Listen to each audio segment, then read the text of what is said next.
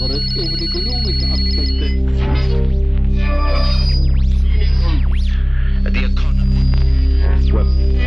Well, then,